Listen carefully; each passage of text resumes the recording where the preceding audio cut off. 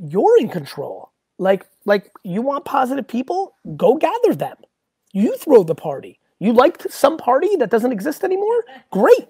Go and fucking throw your own party. We're in fucking control out here.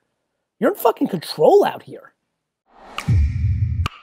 Over the last three years, I did basically I learned my skills. I got some degrees because I wanted to work for a big brand.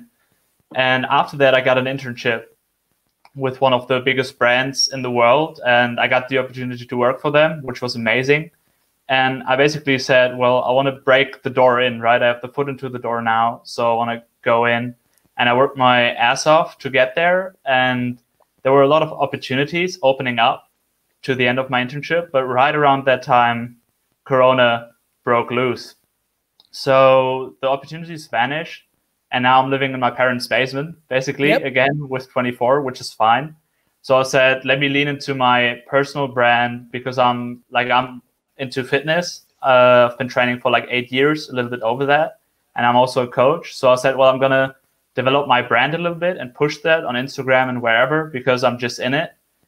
But I catch myself looking back because I don't want to miss out on the corporate world as well because I love that as well. I met so many amazing people so it's like, Good how news. can I that combine that? Easily. Like, you know, as soon as we get to some sort of normalcy and, and corporations are hiring again, which they will, you can apply for a job or another internship and be right back there. Like this is this is a moment in time and the beauty for you is you're so young, you have your entire life in front of you. Um, and then yeah. if you want to do the fitness stuff in your personal brand, you can do that after hours and on weekends and then you're and, and the other thing is you may change your mind in three years or six years. You yeah know, true. the, the biggest issue that i see out there is that we don't put changing your mind on a pedestal. I believe that changing my mind is my greatest strength as an operator. The ability to change your mind is powerful. Most people fear changing their mind because they're worried about what people will judge them for when just a year ago they said i'm going to be a fitness coach and then nine months later they're selling pizzas and everyone's like oh you're full of shit and and it's not about being full of shit it's you fucking changed your mind. Yeah true. I, I think laziness and changing your mind are two things that are completely misunderstood. I think most people think that changing your mind is a show of weakness and you don't know what you're doing I think it's the reverse. People obviously very much look down on laziness. Believe it or not, for somebody who's like hard work, hard work, I I actually see laziness as an insight to that you're not passionate about that thing and you just need to do another thing. Yeah.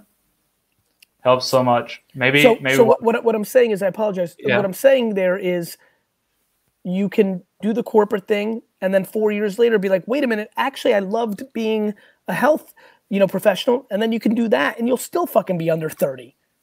Yeah, yeah, true. Yeah, I, I don't know. I just feel stuck right now because it was always going so fast, and I was ready to kill it. You know, because I'm brother, also like go brother, go go. There, there was people that were ready to have the greatest life of all time that got hit by a car and died. There are people yeah. who just built a monster business in the 1940s in Europe, and then a war broke out. There are people yeah. like there are people who are ready to kill it and actually died from COVID. Yeah, facts. Like, yeah, man. The fuck are you complaining about? No, like no one gives a you know shit. What I mean? I, I, get that. Yeah. It's like don't be sad, be happy.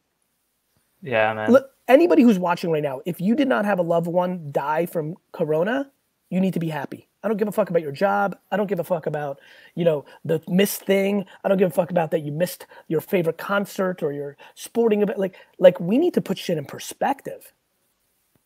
Yeah, true. So true. You're, you're winning.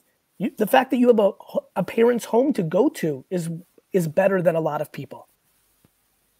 Yeah, facts. You just need to switch it. It's kind of like an on-off switch. Instead of spending your time thinking about like, oh God, I'm so unlucky. Just when I was finally there, I, I, out of in a hundred years, this pandemic, my friend, do you understand that if this pandemic started three months earlier, Kobe Bryant would be alive? It's a shame. You know what I mean? If this pandemic started happened a year ago at the same time, my great friend and the great, unbelievable young artist Nipsey Hussle would be alive. Like, like, bro, Don't be sad. Yeah. Like like honestly, I'm kind of happy. I'm glad that you got punched in the stomach because it's going to make you more resilient in the future. It's going to make you more thoughtful when you make decisions in the future because you you've now lived through shit can happen. Yeah. Yeah, so true. You know, yeah, I just so need to just change your mind. Keep it up. Yeah, just like um, not only keep it up, realize this is an opportunity. Yeah. Yeah, man, I'm I'm trying to learn every day, bro. Like I'm trying Good. to make it work. I'm just trying to be the best self every day and just but I, I get what you mean. Yeah, don't maybe go ahead. Maybe one more thing that maybe relates to it a little. When I was working there, like there were a lot of positive people and I drew energy from that mm, because. I, I love to work surrounded by positive people because I'm positive as well. It's just an uncertain time. But now that I'm back here, I'm missing like the influence influence of positive people. So so put positivity in your ear. I do, man. That's why I'm talking more? to you. Man. I appreciate it, bro. So more. So more. Yeah. Why don't you why don't you contact everybody in your phone and send them a Google Hangout link and get on, you know what, every day at six o'clock for two hours and just shoot positivity. Take yeah. the initiative. Fuck dwelling. Fucking go all in. You take yeah, control. Man. You take control. You create positivity. Why don't you text all the fucking people that you found positive and say, hey, man, hey, hey, gal, do you want to go on Zoom tonight? Let's get 20 of our friends together. Think of it, yeah, literally man. go through your phone from A to fucking Z and find every positive person you know and send them a link and say, I'll see you at 8 p.m. tonight. Yeah, man, that's a, that's a great idea. Well, good. That's what I'm here for. Thank right, you so much. Take Gary. care, brother. Stay well. You too. Listen, just like I told Nino, like you're in control. Like, like you want positive people, go gather them. You throw the party. You like some party that doesn't exist anymore? Great. Go and fucking throw your own party. We're in fucking control out here. You're in fucking control out here.